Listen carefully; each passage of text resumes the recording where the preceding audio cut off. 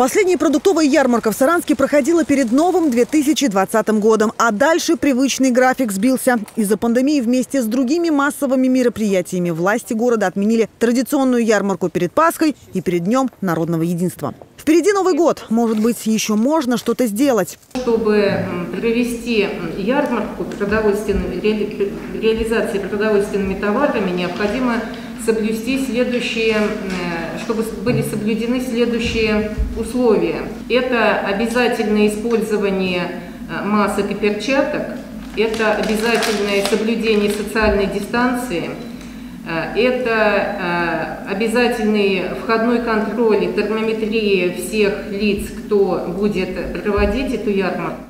Вопрос о проведении предновогодней ярмарки в Саранске поставил перед республиканским правительством в Рио главы Мордовии Артем Сдунов. Сказал, что люди ее ждут, а если есть потребность, значит нужно рассмотреть и возможности. Посмотрите, где будет удобно разместиться тоже и вместе с городом, с Петром Николаевичем, посмотрите, где мы можем сделать. У нас явно должно быть не 4 точки.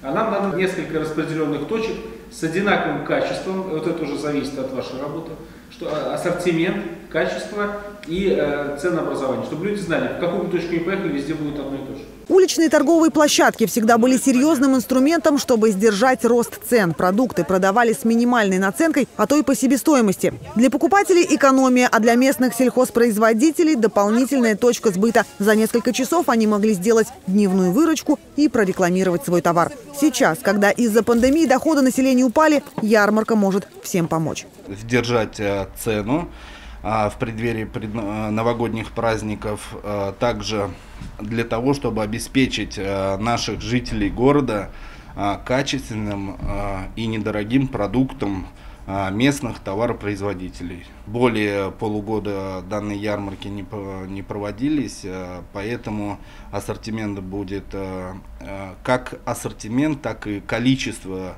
завозимой, привозимой продукции на ярмарке будет в избытке. И всем а, жителям города, который хочет приобрести продукцию у наших а, мордовских сельхозтоваропроизводителей, всем продукции хватит. Розничные цены на многие продукты широкого потребления выросли за три осенних месяца. Если посмотреть на статистику с конца августа по конец ноября и не брать в расчет сезонные огурцы и помидоры, то получается, что яйца в среднем подорожали на 10 рублей, подсолнечное масло на 20 рублей, неразделанная мороженая рыба на 14. Это то, что обычно на продуктовых ярмарках чаще всего покупают и что подорожало в последнее время сильнее всего. А вот морковь, пшено, яблоки в цене упали. Тем не менее, опрос общественного мнения показывает, страх перед пандемией у некоторых покупателей сильнее желание сэкономить. Если вдруг решат проводить, вы пойдете или нет?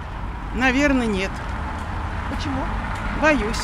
Конечно, наверное, нужно. Люди соскучились, наверное, уже по ярмарке. Все равно интересные там. И закупки делают очень крупные, все оптом покупают все вместе. Уже известно, что в Саранске предновогоднюю ярмарку устроят не один раз, а целых три. Ближайший 12 декабря. Изменится и формат торговли. Вместо четырех перекрытых улиц будут большие парковки. Их количество вырастет. С конкретными местами проведения власти как раз определяются. Так получится не создавать толпу и соблюсти санитарные нормы. Сейчас специалисты Министерства сельского хозяйства изучают розничные цены в торговых сетях, чтобы потом дать рекомендации по их снижению участникам ярмарки. Людмила Кусерова, Андрей Просвиркин. Наши новости.